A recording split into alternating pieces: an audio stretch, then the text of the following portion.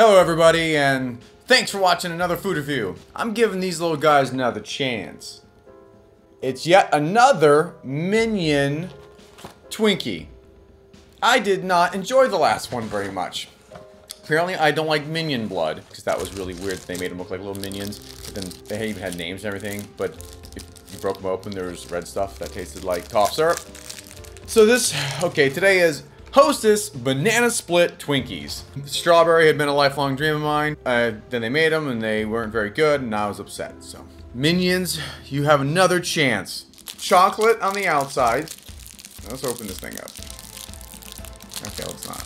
Chocolate covered Twinkie with strawberry jelly right here and banana cream filling. Break that open, nothing, nothing happened.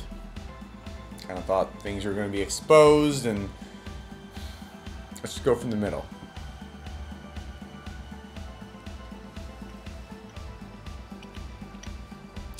Okay. A little bit, a little bit. Very, very subtle strawberry. Very subtle banana. Lots of chocolate. Cover up that that terrible banana and strawberry goodness. These are better than the other ones you know, there's no egregious flavor like there was in the, you know, Grand, Grandpa's cough syrup version of their strawberry Twinkies.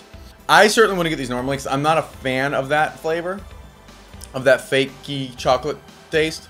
It no longer tastes anything like a Twinkie, which is good and bad, I guess. I mean, they did, they went all out on it. It tastes exactly like a moon pie, a chocolate covered moon pie. A lot like a moon pie. You have your banana moon pies and you have your chocolate moon pies, and it just tastes like that.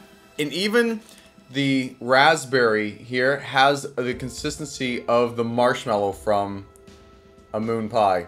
So, very, very moon pie-ish on the flavor.